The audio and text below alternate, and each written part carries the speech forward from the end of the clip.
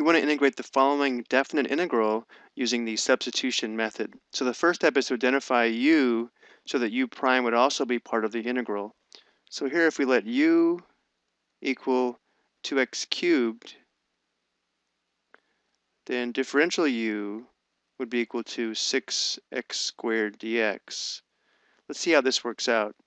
If we let u equal 2x cubed, we'd have e to the u here, and then what's left is x squared dx. But notice how here du is equal to 6x squared dx. So to make this match our integral, we'll divide both sides by 6 to isolate x squared dx.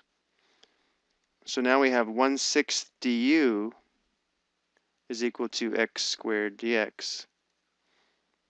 So x squared dx can now be replaced with 1 6th du. So now we'll go ahead and rewrite this in terms of u.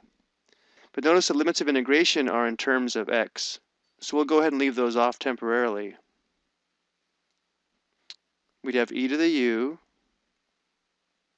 And then again, x squared dx is equal to 1 6th du.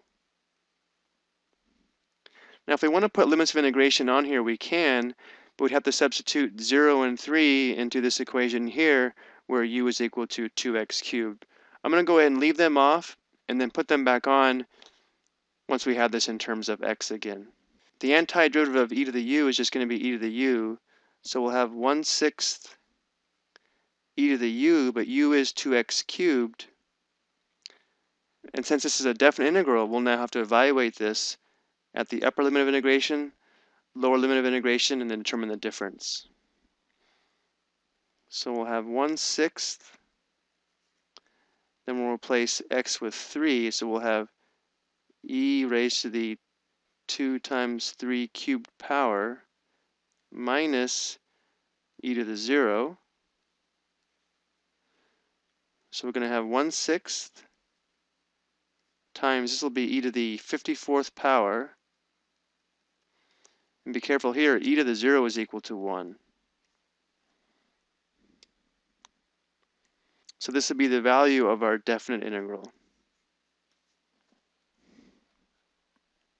We'll take a look at a second example of definite integration that requires substitution in the next video.